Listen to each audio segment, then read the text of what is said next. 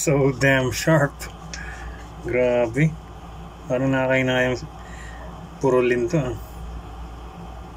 Lupit.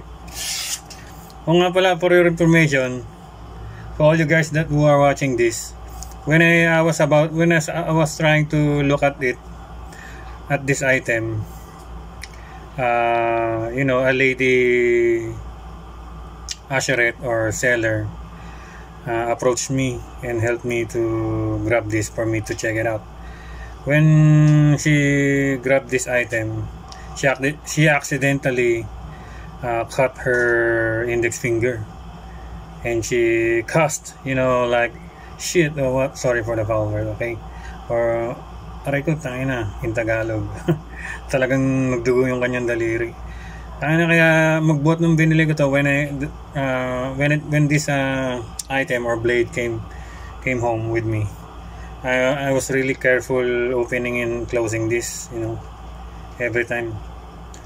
Even as I uh, as I even when I started this video uh, of uh, blade test of this piece, you know.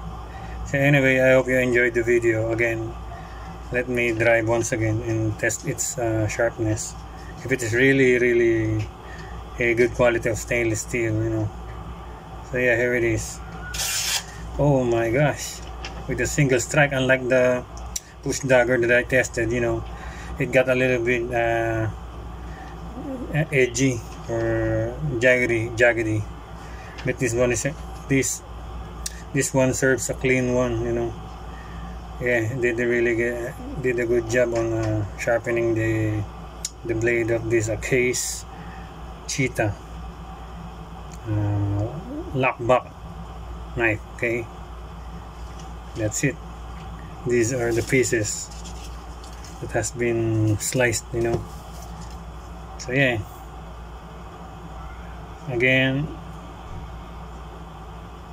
there goes your case cheetah para ba horn lockback